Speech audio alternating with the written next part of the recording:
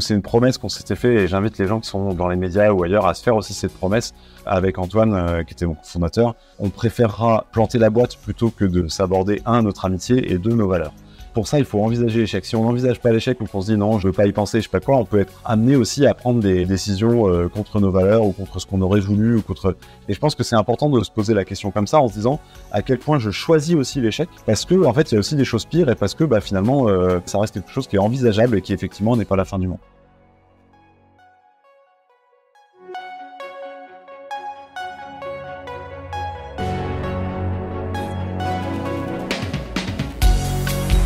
Bienvenue dans Mediarama, le podcast du futur des médias.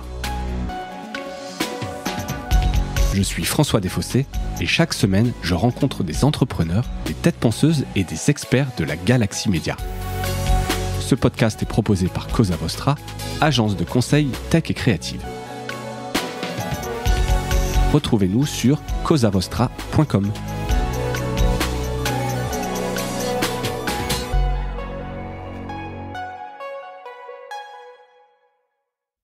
Bonjour à toutes et à tous et bienvenue dans ce nouvel épisode de Mediarama. Je reçois aujourd'hui Florent Guignard. Florent, bonjour. Bonjour. Alors, tu es déjà venu dans Mediarama. Tu fais partie, euh, je crois que tu es le deuxième invité à revenir sur Mediarama, puisque je t'avais reçu en mai 2022 pour parler du Dranche, dont tu es l'un des cofondateurs. Euh, on avait pu parler de, donc du Dranche, sa création. C'est un épisode qui avait très bien marché, d'ailleurs. Euh, voilà, donc j'ai voulu t'inviter là pendant cette période de, de, vacances, un peu pour inaugurer les vacances de Mediarama, mais surtout pour revenir sur ton intervention euh, fin juin dernier, là, lors d'une rencontre du réseau Entreprendre sur la fin du dranche, ton bébé, ton entreprise. Euh, voilà, donc c'est à la fois une très mauvaise nouvelle qui a surpris beaucoup de monde et euh, à la fois cette tribune que tu as publiée notamment sur LinkedIn, bah, je la trouvais très inspirante, très très intéressante et je me disais que c'était intéressant et qui avait des probablement des apprentissages à te faire revenir euh, sur Mediarama pour en parler. Donc c'est pas un super événement, malheureusement c'est pas pour avoir un, un, super update sur le dranche, mais ça fait partie aussi de la vie de, de l'entrepreneuriat euh, dans les médias. Donc je te remercie de venir nous faire ce, ce, ce témoignage euh, sur ce bilan un peu du, du dranche. Alors pour ceux qui peut-être découvrent euh, Mediarama ou l'ont pris en cours de route et n'ont pas écouté cet épisode, est-ce que tu peux en quelques mots revenir sur ce ce que ce qu'était le dranche, euh, expliquer ce que c'était. Bah, tout à fait. Déjà, merci beaucoup parce que c'est un plaisir et un honneur du coup de revenir dans Mediarama. euh, le Dranche, c'est euh, un journal qui, pour chaque sujet d'actualité, présente le pour et le contre de ce sujet, écrit par des personnes compétentes, euh, légitimes et engagées. Alors, pourquoi est-ce qu'on fait ça? Pourquoi est-ce qu'on faisait ça? Je parle parfois au présent, parfois au passé, parce qu'en fait, le site est toujours en ligne, même si l'entreprise n'existe plus. Ouais. Euh, pourquoi est-ce qu'on faisait ça? Tout simplement pour que chaque personne euh, puisse se forger sa propre opinion. Et pourquoi c'est important de se forger sa propre opinion? Pour tout simplement pouvoir la mettre en pratique euh, via des processus démocratiques, s'engager dans la société. Et également, le, le, fait de confronter deux opinions entre elles permet de permettre tout simplement aux personnes qui ont déjà un avis de mieux se comprendre entre elles, de sortir de leur bulle de filtre et du coup de vivre ensemble dans une société où par définition, eh ben on est on côtoie, on cohabite avec des gens qui ne pensent pas comme nous. Exactement. Et donc, si vous voulez, si ce sujet vous intéresse, je vous invite quand même à aller écouter l'épisode parce qu'en fait, il y avait plein de, de au-delà du, du, dranche, on parlait un peu de ces sujets justement de, débat et donc l'épisode est hyper intéressant. Euh, je mettrai le lien de l'épisode dans les notes de, celui-ci. Euh, alors, avant le dranche, on, on en parlait, tu avais zéro expérience dans les médias. Euh, quels souvenirs tu vas en garder? Les apprentissages peut-être que tu en as fait? Oui, on avait zéro euh, expérience dans les médias, mais aussi zéro expérience dans l'entrepreneuriat, euh, zéro expérience dans la pub, dans la com. Enfin, on avait vraiment zéro expérience partout. Euh, donc, on a appris énormément de choses. Ce que j'en retiens, il y a deux choses hors les apprentissages techniques, parce que vraiment, on a découvert un milieu, on a on a appris sur ce milieu et ça, c'est passionnant. Mais hors les apprentissages techniques, moi, j'en retiens deux choses. La première, c'est que il n'y a pas vraiment de. On, nous décrivait le monde des médias comme un monde, euh, surtout de la presse papier. Il faut savoir que le Dranche était un journal papier, euh, comme un monde très peu accessible, euh, très cadenassé, très difficile à changer, à, intégrer, etc. Et en fait, je pense que c'est aussi un peu une montagne qu'on se fait de beaucoup de secteurs. En fait, pour peu qu'on ait des bonnes idées et qu'on écoute en fait les gens qui qui consomment ces médias, donc en l'occurrence les lecteurs. On peut amener de la nouveauté dans tous les secteurs, peu importe, même qu'on n'ait pas le bagage euh, parfait pour, euh, pour aller dans ces secteurs-là. Ça, c'est le premier apprentissage.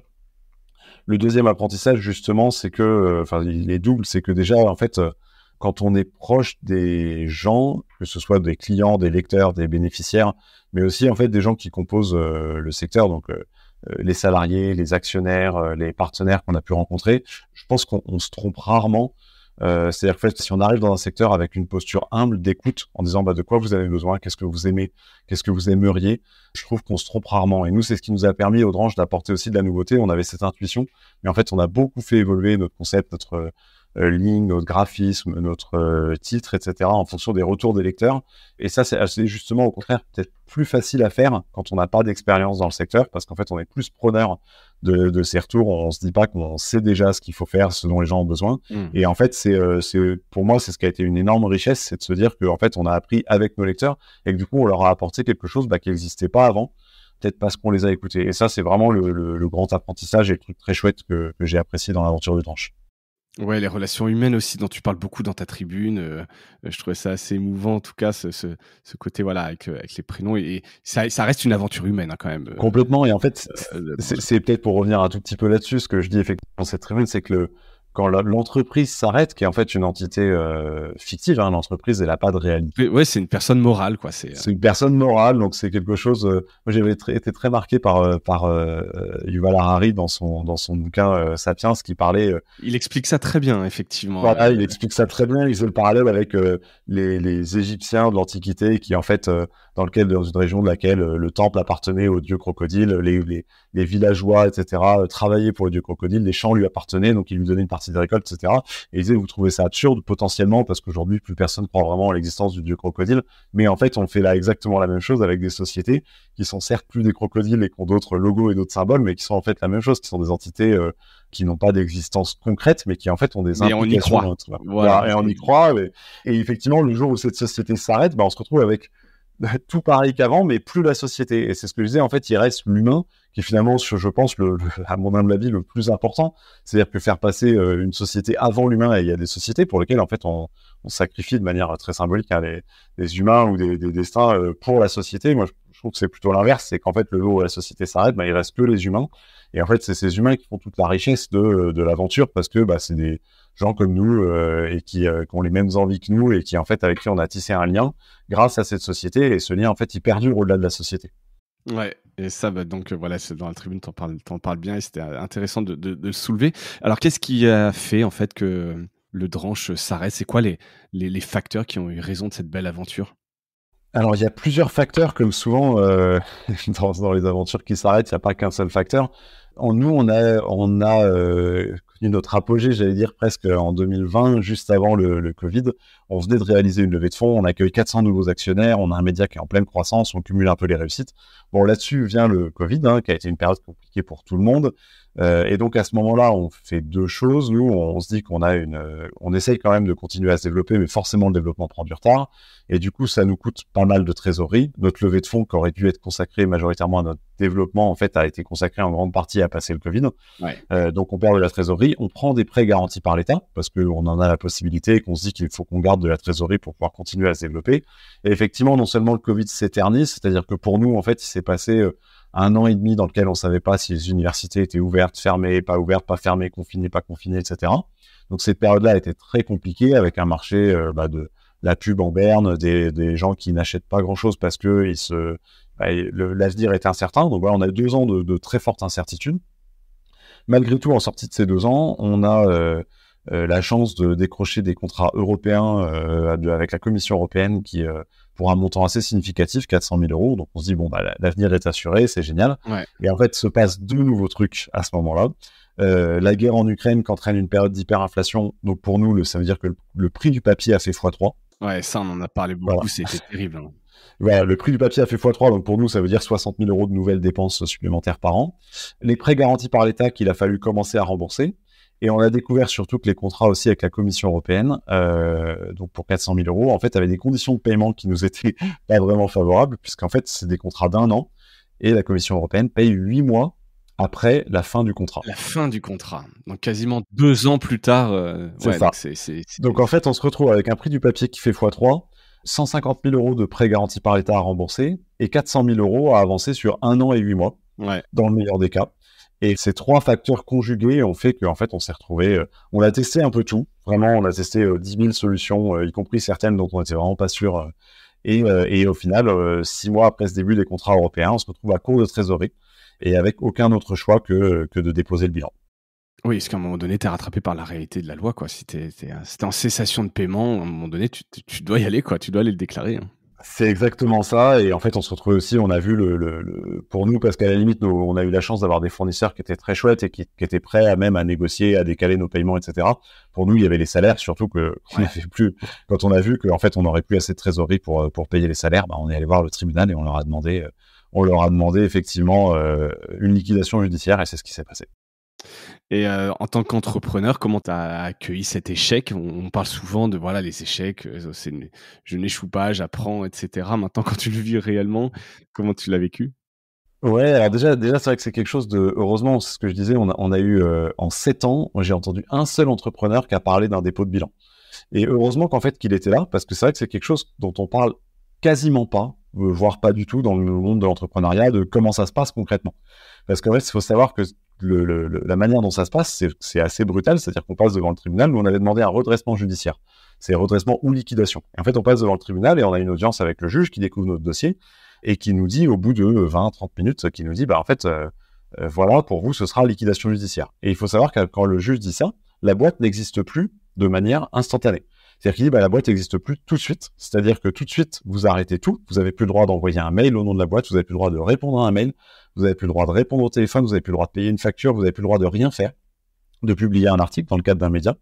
Euh, donc vous rentrez, vous annoncez ça à vos salariés, et aussi ça veut dire que bah, le mois en cours, vous aurez vous plus de salaire, euh, pas droit au chômage en tant que créateur d'entreprise, vous n'avez pas droit au chômage. Donc tout s'arrête vraiment à l'instant même où le juge dit c'est fini. Et ça c'est vrai que bah, forcément quand on est un entrepreneur, on est en relation avec, on a un agenda surchargé, on est en relation avec plein de monde, de devoir du jour au lendemain vraiment instantanément arrêter tout, tout, tout, tout, tout et de plus avoir le droit de faire euh, ce qu'on faisait avant, c'est quelque chose qui est très brutal. Et donc ça, effectivement, ça doit, être, ça doit être vertigineux. Je veux dire, quand tu, tu sors de là, tu dois être sonné. On est vraiment sonné et heureusement on s'y était préparé et on était deux surtout qu'on était deux cofondateurs. Et ça pour moi c'est quelque chose qui m'a énormément aidé. Mais c'est vrai qu'on sort du tribunal et on se dit qu'est-ce qui se passe quoi? On a l'impression de moi j'avais l'impression d'être un collégien qui séchait les cours euh, auquel on aurait dit euh, ton prof est pas là et il reviendra pas des six prochains mois. Ça fait vraiment un peu cette sensation-là. Et donc, c'est effectivement, c'est vertigineux. Après, faut le dire aux salariés, qui, pour qui c'est vertigineux aussi. Juste tout ce que ça implique, euh, le fait de l'annoncer aux proches, aux partenaires, aux fournisseurs qui seront pas payés, etc. Enfin, il y a vraiment aux actionnaires qui ont mis de l'argent et qui le reverront pas. Donc, ça fait vraiment beaucoup de choses d'un coup.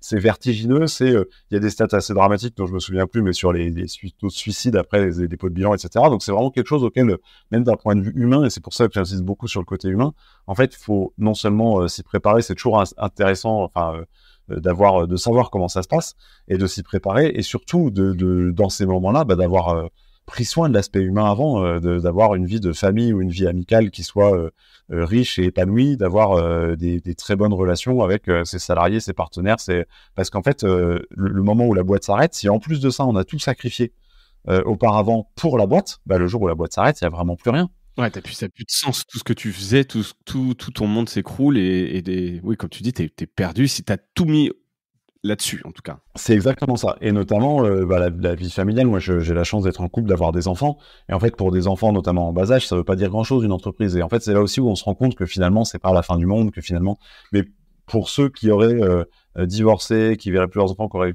pas eu d'enfants à cause de ça, je sais pas quoi, bah en fait, c'est ou qui auraient plus vu leurs amis parce que tu comprends, faut bosser et tout. Bah, en fait, c'est vrai que le jour où ça s'arrête, c'est là qu'on se rend compte de tout ce qu'on a sacrifié pour cette boîte. Et en fait, euh, c'est aussi le jour où elle s'arrête où moi j'étais content de pas avoir sacrifié tout pour la boîte. Parce que bah, quand la boîte n'existe plus, il reste tout ce qu'on n'a pas sacrifié. Et c'est, du coup, c'est très chouette de ne pas l'avoir sacrifié.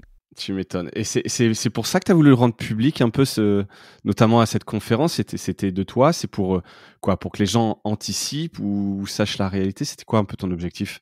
Ouais, il y a eu un double objectif, c'est Réseau Entreprendre qui m'a proposé de faire ça et je trouvais ça chouette. Et, moi, c'est vrai que je me suis souvenu de ce côté. Je me suis dit, oh, mais en sept ans, j'ai entendu un seul, une seule personne en sept ans qui m'a dit, euh, j'ai planté ma boîte et voilà comment ça s'est passé.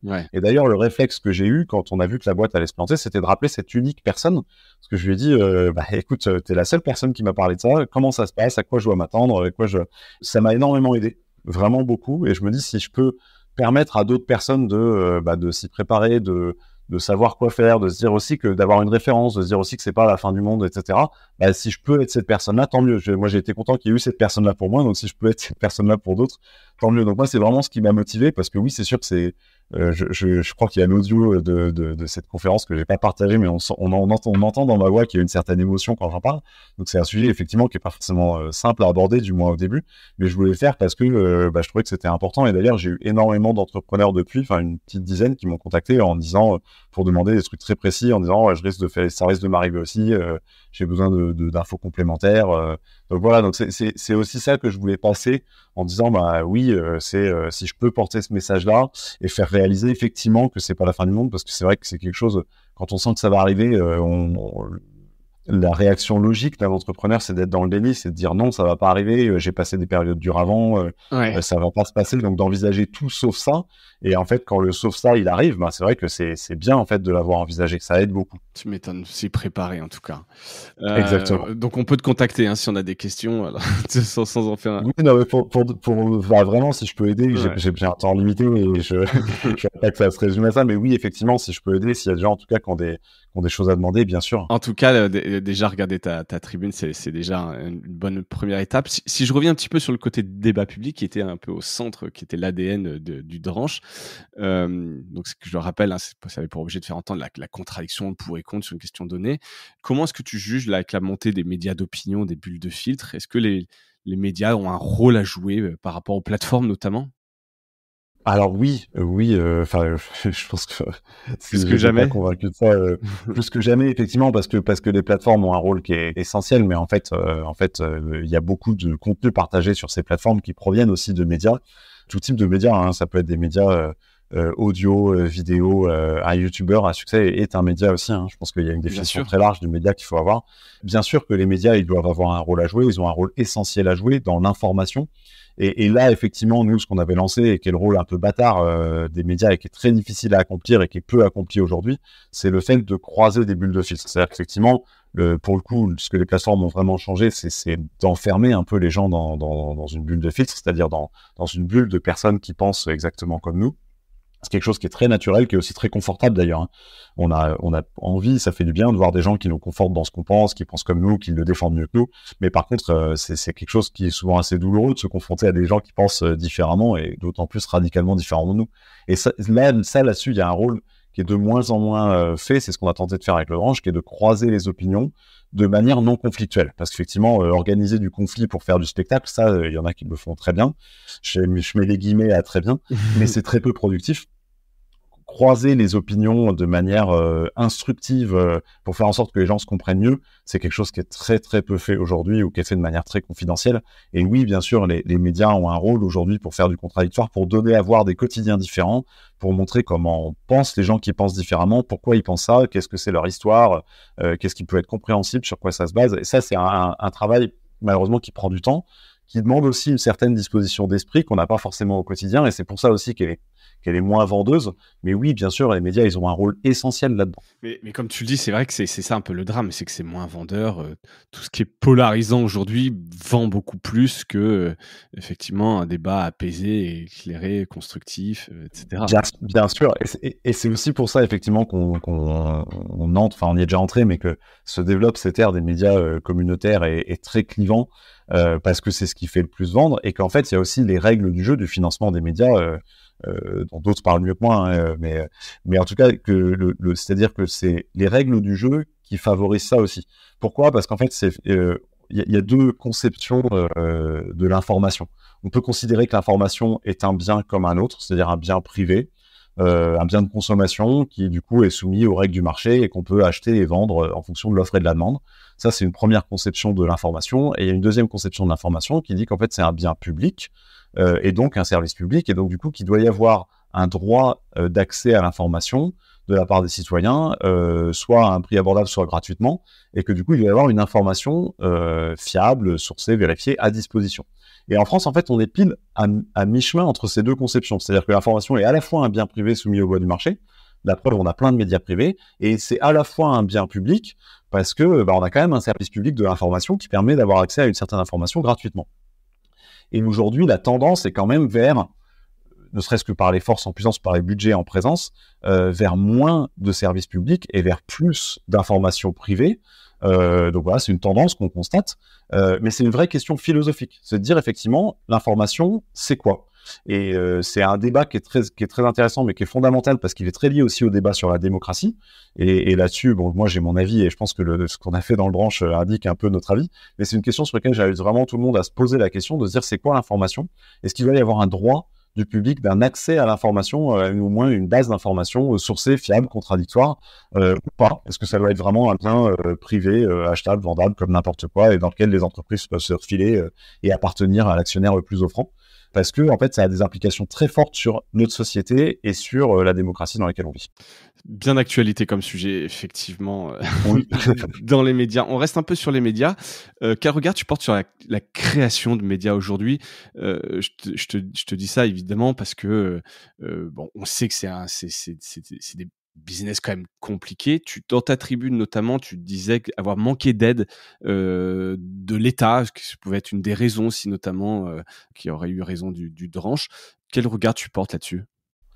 Oui, c'est, euh, enfin, manquer d'aide, effectivement, une précision. En fait, à part une subvention au tout début du tranche euh, de 20 000 euros du ministère de la Culture, on n'a pas eu d'aide de l'État, euh, ni direct ni indirect. C'est-à-dire qu'on n'avait pas les aides au portage, on n'avait pas la TVA réduite, on n'avait pas, enfin, vraiment, on cochait pas les cases, donc on n'avait pas d'aide du tout là-dedans. Et, effectivement, ces aides de l'État, bah, en fait, c'est un peu les règles du jeu dont je c'est une partie des règles du jeu dont je parlais. C'est-à-dire qu'effectivement, elles, elles impactent très directement quel média va survivre, quel média va pas survivre, euh, et quel média va prospérer. Et c'est-à-dire qu'effectivement, aujourd'hui, quand vous avez bah, Télé 7 jours ou Télé Loisirs qui ont euh, plusieurs euh, dizaines de millions d'euros de, de, la presse par an, et que effectivement un média comme nous, le Dranche, qui voulions une information gratuite pour aider les jeunes à entrer dans la citoyenneté, avons eu 20 000 euros en 7 ans, bah, c'est sûr que ça, nous a aidé, ça c'est certain. Euh, après, c'est sûr qu'il faut qu'il y ait des règles de jeu, et je dis pas qu'on aurait dû avoir euh, des dizaines de millions d'euros et pas télé loisirs, mais il y a des règles de jeu qui sont complexes et qu qui doivent être compliquées à définir, mais en tout cas, c'est-à-dire que si on veut des médias effectivement qui aident vraiment chaque personne à se faire sa propre opinion, à rentrer dans la citoyenneté, etc. Aujourd'hui, le système des aides en place ne, provoque pas ça. Euh, et, ça, c'est vrai que c'est un parce que l'essentiel des aides en fait vont vers des médias qui sont des très gros médias et dont la majorité sont détenus par des milliardaires. Donc ça, c'est certain effectivement que euh, c'est un des effets qui sont produits. Et après, il y a d'autres effets, il y a d'autres systèmes alternatifs qui resteraient à tester. Hein. Je, je renvoie souvent vers euh, Julia Cagé parce que c'est une des rares chercheuses qui a vraiment travaillé sur le financement des médias et qui a des propositions que moi je trouve très intéressantes sur que pourrait être un système différent de euh, financement des médias par l'État pour provoquer effectivement des, effets différents. Aujourd'hui, sur la création de médias, un petit mot là-dessus, euh, parce qu'il y a encore beaucoup de médias qui se créent. Je pense que c'est toujours quelque chose d'intéressant parce que de toute façon, c'est dans la, aussi dans la diversité des médias qu'on se fait, euh, qu'on se fait une opinion. Après, ça doit pas masquer. C'est-à-dire qu'effectivement, aujourd'hui, c'est facile de créer un média, c'est difficile de le faire arriver à un équilibre économique, et c'est encore plus difficile d'en faire un média de premier plan. Euh, et c'est-à-dire qu'aujourd'hui, cette richesse de la création des médias, euh, des petits médias ou des médias indépendants, elle doit pas masquer le fait qu'il y a quand même un système médiatique qui se concentre entre les mains de quelques-uns et qui continue à se concentrer. C'est-à-dire qu'effectivement, tu le disais, euh, il y a beaucoup de médias qui ont déposé le bilan. On apprenait ce matin encore que Kaizen, le magazine, dépose le bilan aujourd'hui. il y en a énormément qui ont, déposé le bilan. Et dans ceux qui ont déposé le bilan ou qui allaient déposer le bilan, il y en a aussi énormément qui ont été rachetés. Euh, et ça, c'est pas forcément toujours su. Il y a aussi de, des médias, on pourrait qualifier d'intermédiaires, magazines qui avaient à peu près atteint l'équilibre, ou des, médias web qui ont quand même une certaine audience, et qui se sont fait racheter par, en fait, toujours les mêmes, c'est-à-dire, en fait, euh, les médias des médias, les milliardaires qui détiennent déjà la, majeure partie des médias. Daniel Kretinsky, notamment, a été très actif dans le rachat de médias ces dernières années. Et, et donc, il y a effectivement un système médiatique qui continue à se concentrer et ça, je pense que, que, que c'est pas très sain euh, à moyen ou à long terme pour la démocratie. Euh, c'est clair. Tu, tu, tu, te relancerais dans un média, là, en 2023 Aujourd'hui, en 2023, pas forcément. Déjà parce que ça demande beaucoup d'énergie et qu'aujourd'hui, je trouve que le, le, justement, le contexte rend très difficile la création d'un média. C'est-à-dire que ça demande vraiment des réserves d'énergie, des réserves financières aussi.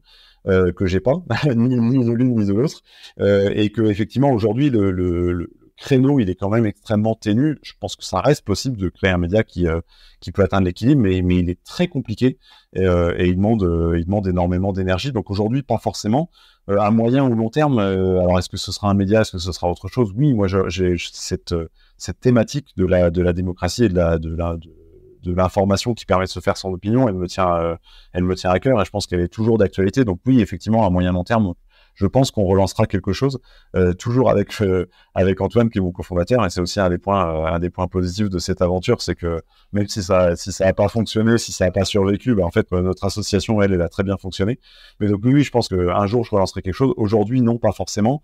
Et aussi parce que le Dranche en fait on l'a lancé à l'époque où c'était le début de ce qu'on appelait la civic tech, euh, la démocratie participative était vraiment un courant qui avait, euh, euh, qui était en plein essor.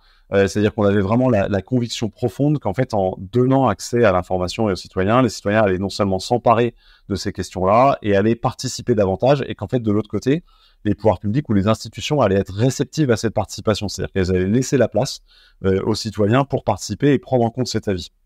C'était à l'époque sous euh, il y avait euh, Axel Lemaire qui lançait sa loi sur la République numérique, qui était la première loi rédigée de manière participative. Et donc, il y avait vraiment un élan en se disant, regardez, c'est possible, il y a des nouveaux outils qui le permettent. Et du coup, ça va se généraliser. Euh, il s'est avéré que finalement, ça s'est pas généralisé. Qu'il y a eu, il y a eu des changements de, gouvernement et de pouvoir, mais qu'en fait, le, pouvoir en place, malgré des, premiers élans, il y a quand même eu grand débat national, il y a quand même eu euh, la Convention citoyenne sur le climat, il y a eu des, il y a eu des espoirs effectivement là-dessus. Euh, en fait, est revenue à une conception beaucoup plus traditionnelle du pouvoir, où en fait la participation des citoyens a assez peu de place, et j'ai l'impression même la participation des citoyens a de moins en moins de place. Passer cette parenthèse, euh, ça se réduit effectivement aujourd'hui, et donc du coup aujourd'hui le, le la la conviction profonde avec laquelle on a lancé le tranche, elle est, elle plus vraiment d'actualité. Et du coup, ce, cette, promesse qu'on avait de se dire on va changer la société parce que les institutions et le pouvoir vont être réceptifs, aujourd'hui, euh, ce serait euh, euh, on n'aurait plus cette conviction-là parce que de fait, le pouvoir, euh, le pouvoir est pas réceptif à ça aujourd'hui. Alors, est-ce qu'il le sera à l'avenir? J'espère, mais en tout cas, aujourd'hui, on n'a pas de garantie que ça le soit. Ouais. Euh, tu, tu, regardes quand même un peu ailleurs, dans d'autres pays, voir ça, ça avance ce sujet justement quand même de la civil tech. Tu penses que là, c'est juste dû au gouvernement euh, euh, ou c'est juste globalement en fait, c'était des, faux espoirs et puis rien ne change? Non, c'est assez varié. Il y a quand même, il y a quand même des expériences vraiment réussies. Et, et d'ailleurs, le, le, le, mot civic tech a vite passé parce qu'en fait, on s'est rendu compte que l'aspect technologique seul en fait changerait rien. C'est un peu le technosolutionnisme etc ouais. c'est un peu c'est un peu à l'heure donc très rapidement en France on est on a préféré le terme innovation démocratique qui peut comporter des parties d'outils euh, numériques etc mais qui vont aussi comporter beaucoup de pratiques qui sont en fait sans forcément être très techniques. Le, le, format citoyenne typiquement c'est une innovation démocratique qui a pas du tout un enjeu tech mais qui en fait est une vraie innovation démocratique et qui, a, qui pour le coup est très prometteuse euh, oui, il y a des pays quand même dans lesquels les pouvoirs ont été beaucoup plus réceptifs à ça.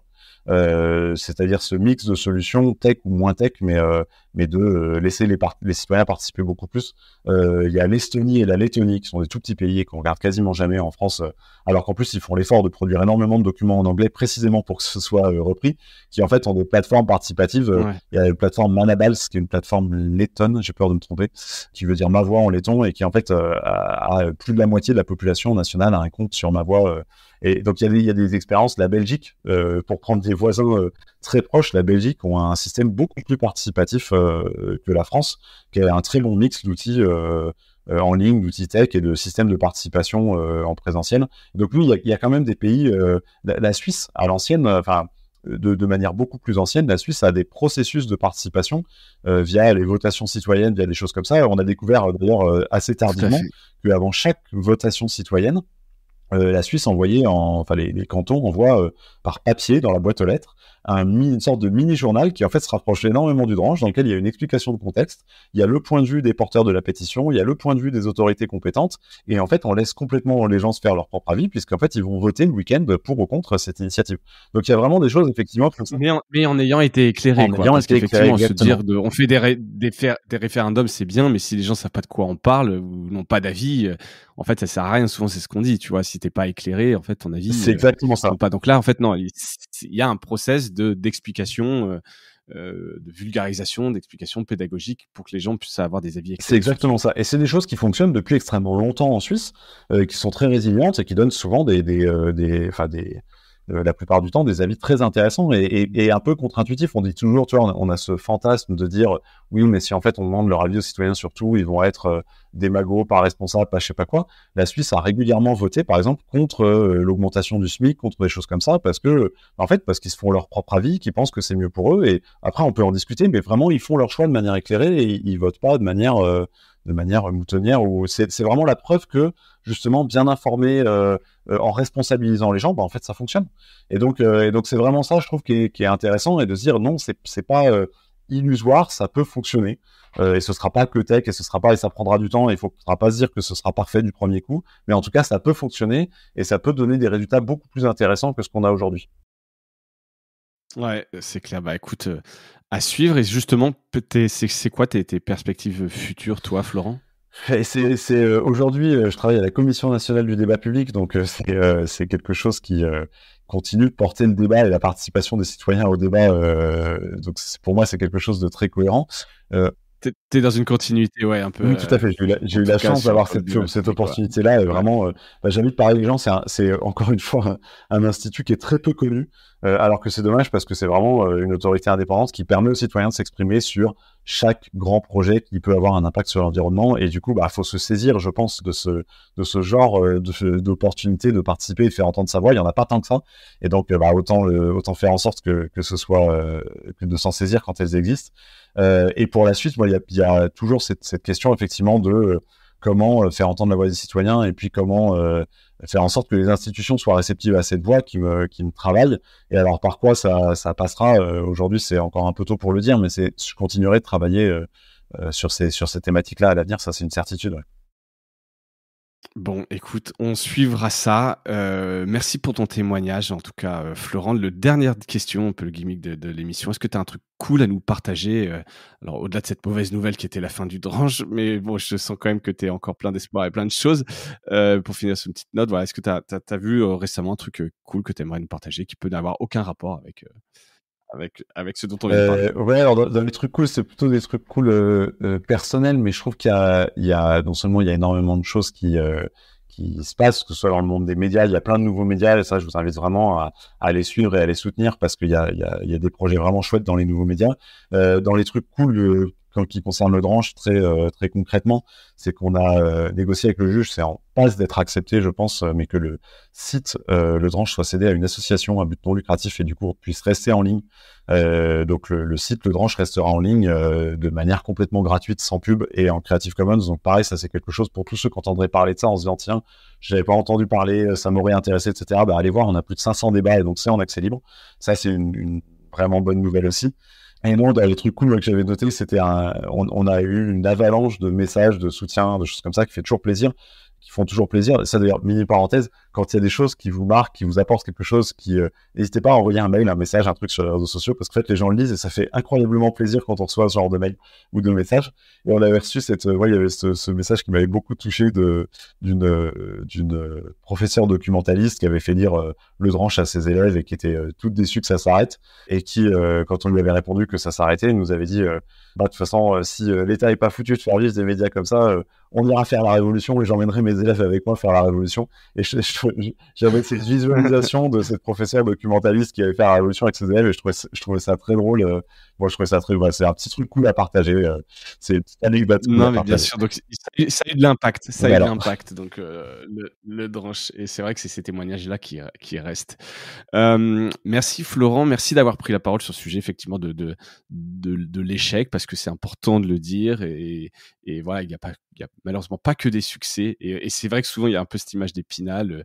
Euh, j'échoue pas, j'apprends, un peu le côté start-up. Et non, en fait, des fois, c'est la réalité. Tu laisses des gens sur le carreau et c'est dur c'est dur à vivre, c'est un grand changement. Donc, euh, c'était bien de prendre la parole et c'est pour ça que j'étais ravi que tu acceptes l'invitation de venir en parler à ce micro. Bah non, bah écoute, c'était, un plaisir aussi. Et c'est, vrai que c'est un, truc important, euh, c'est d'envisager cet échec parce qu'effectivement, un, tu l'as dit, c'est pas la fin du monde. Et deux, nous, c'est, une promesse qu'on s'était fait et j'invite les gens qui sont dans les médias ou ailleurs à se faire aussi cette promesse.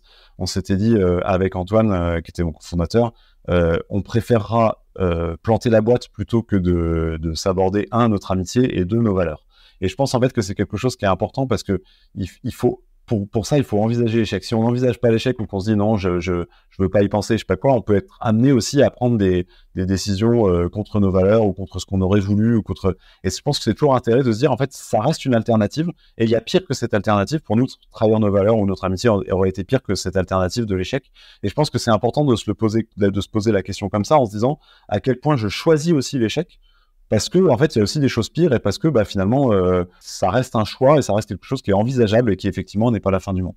Et donc ça c'est vraiment quelque chose que j'invite euh, chacun à faire, à se dire qu'est-ce qui est pire que l'échec et à quelles conditions on peut choisir en fait embrasser cet échec en se disant bah au moins j'aurais pas euh, trahi ça, mes valeurs, mon amitié, la vision que j'avais au début, etc., etc. Et c'est vraiment voilà quelque l'image avec laquelle je voulais aussi laisser tous ceux qui seraient dans les médias et qui et qui voilà pourraient avoir peur de ça méditer. Merci beaucoup, Florent. Euh, et bonne continuation. J'espère qu'on aura l'occasion de te entendre à ce micro pour d'autres projets. Euh, bah, ça va. Merci à toutes et à tous d'avoir écouté cet épisode et je vous dis à bientôt. Salut.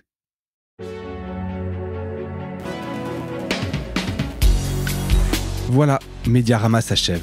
Si cet épisode vous a plu, n'hésitez pas à le liker et le partager. Et puis, si vous souhaitez être accompagné par notre agence Cosa Vostra, contactez-moi par mail mediarama at. Portez-vous bien.